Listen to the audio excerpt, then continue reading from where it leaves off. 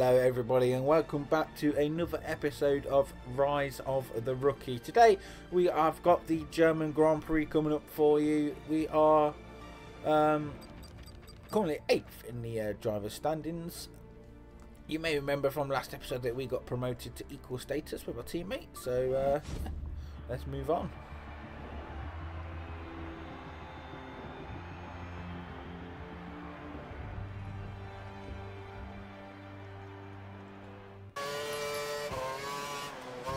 So we have made it into Q3, so we have beaten our finish 12th or above, starting our fastest lap now.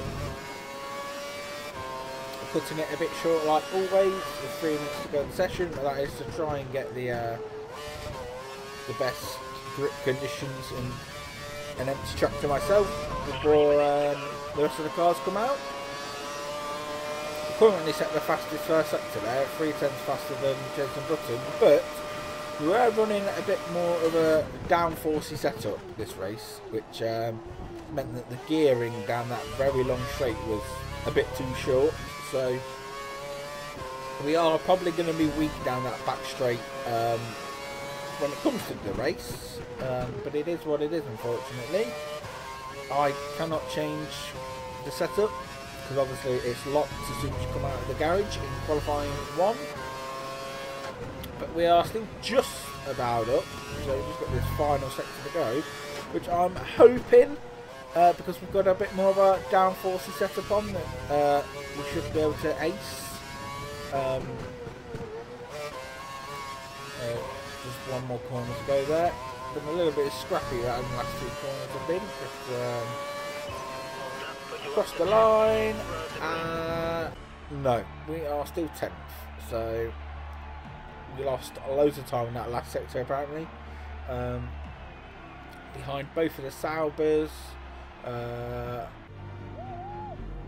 by a little bit, but we're still happy because we finished 12th or above. So, well, we came 10th, which is good.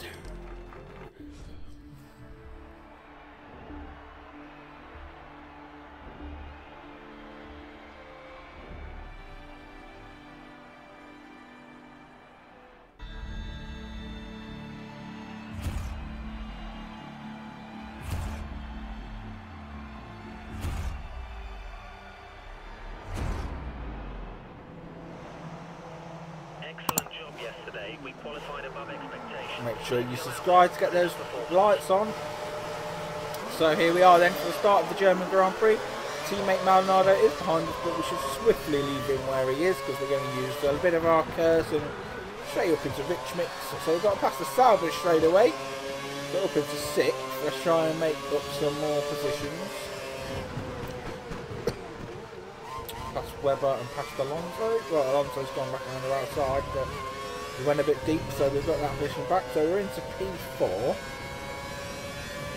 Um, but like I said in qualifying, the setup we chose was completely wrong for this race, I think. So um, we are going to struggle when it comes to the uh, back straight, And especially when DRS gets enabled, because they're going to fly past us. Um, but for now, Hopefully around lap one, everything seems to be okay. Got Mr. Lewis Hamilton ahead of us, with Seb and Jenson ahead. So that is currently the podium. But uh, we are struggling again because Fernando's quarters and he's already trying to get by us and we haven't even finished our lap yet. Uh, so 17 laps around Hockenheim, which we are about to complete. Uh, where's the line? There it is. There, one lap completed.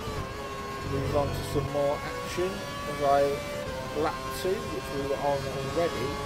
Just on the back straight, you can see we've got Alonso down who's trying to get by us. He's got the uh, he's got in our slipstream. We used a bit of our KERS, but already in the slipstream he was a lot faster than us. So waiting till DRS so we're not going to have a standard chance. Lap 3, DRS is enabled. We are uh, crashing to the side of Alonso there because uh, because we just did. But we're going to try and go around his outside again. but obviously we've got to push wide because there's the line that we came on into the corner. But now Mark Webber fancies our chance against us. Um, he's probably going to breeze by us again when it comes to DRS. So here we are. You see the uh, cars ahead are pulling away. Uh, Fernando got away so much that he's actually headed smashing Vettel now on lap number 7. So Mark took a little bit longer to get past us again. He's using DRS, we've used all of our KERS. Can we get by him again? Yes we are. We're going to just poke it down the inside. We've got past Mark Webber again. But you can see all the cars on the uh, mini-map are still very close to each other. So I do imagine we are going to be falling down the order a bit. Um, but here we are. This is our pit stop lap, end of lap number seven. So we are in for our stop. So are some of the other cars ahead of us, but I think they should get back out ahead of us. No, I know they've been made to wait, but they'll be out behind us. Some of the other cars around, well, that were behind us are coming in as well, so they're having their pit stops done. So it's interesting to see where we come out. We had come out, is that Sebastian Vettel just in front of us? So he lost loads of time in the pit stop. Now uh, I kind of fancy our chances of getting past him now, actually, Seb. Because uh, with these back markers and stuff, I might get DRS off of them. Have a look. Yes, I do. I get DRS off Jean-Eric Vergne, even with DRS. And I can't catch him up. He's pulling away from me. So yeah, definitely went the wrong way with the setup. Um, oh, down the inside of one, bashing to number two, but we've got past Seb. A little bit dirty, wheel to wheel contact there. Could have had to give ourselves a puncher, but um, realistically, I probably shouldn't have fight, uh, had a. Uh, probably shouldn't have attempted the overtake on him because this was just going to happen anyway. He was just going to fly by us with DRS. I was trying to get right in the slipstream there. That's why it looked like I was trying to take him out, but I wasn't. I was just trying to get right in the slipstream to try and help us pull us along a little bit. Um, we've got a little bit of a gap to Mark Webber behind now, so hopefully we can use Sam to at least pull us around for a little bit longer. Ooh, thought we were going to go for a move there, but we didn't. So we're still beating the objective that was set for us anyway, which was to finish 8 or above. So here comes Grosjean, he's just crashed into our rear wheel. But here's Grosjean, whoa, pushing towards the end of the track. Whoa, what is he doing there? Look at absolute tank slapper on then. Absolutely crazy from Romain Grosjean on lap number 15. So will he attempt to go past us again in the next couple of laps? Uh, I don't think he will, but it's actually raining now in the last lap. I think because of Grosjean's front wing damaged, um, he unfortunately dropped behind us. Oh, Press just lost his front wing on us now as well, but we've actually run out of fuel on the last lap in the rain at Germany. Just luckily we've got one more corner to go, but uh, yeah. On the last lap we've run out of fuel, but uh, it's going to be a drag race to the line, even though I'm not really drag racing, I'm just limping. But we did beat both of the Saubers and Romain Grosjean to manage to finish fifth. Um, so, another decent result for us. Uh, a little bit spicy at the end there when it came to the fuel. Congratulations, But- fifth place. Yeah, it wasn't that bad. Another good a good race from Sergio Perez there, who came from ninth, so he was one a- place ahead of us. Fernando, who came second, started in fifth. So that was an alright race from Fernando. But both Saubers in the points. Where the teammate finished, he finished in 12th. So maybe some improvement needs to happen from Pastor, but uh, the car wasn't that bad, so I'm not sure why he wasn't in the points. If I could do it and I had completely the wrong setup on, I'm not sure why he could. Yeah, everyone's happy that uh, more points on in the bag for us in P5 for Williams.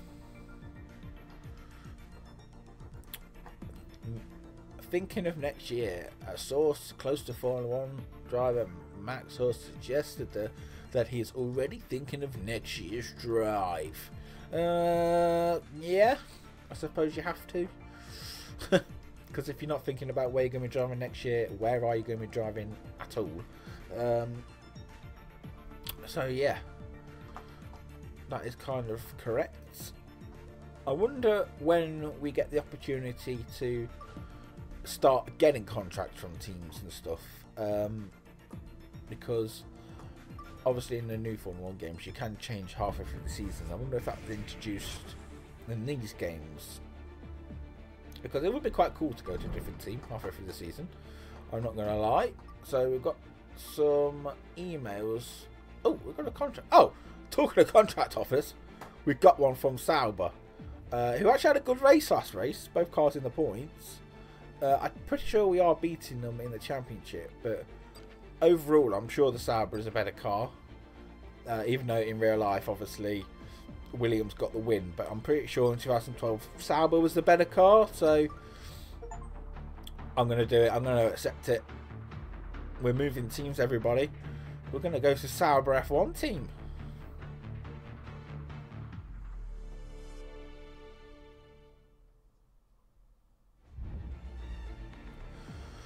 So there we go. We are now with a new team. I bet you weren't expecting that uh, at the start of this episode because I definitely wasn't. Um, so yeah, we are now with Sauber, and our teammate is Kamui Kobayashi. He's down in 16th, so Kamui could do with some improving. Uh, obviously, we got Williams up to 4th along with Pastor, but if you're looking forward to next episode with Sauber, make sure you subscribe. I'll see you guys later. Goodbye.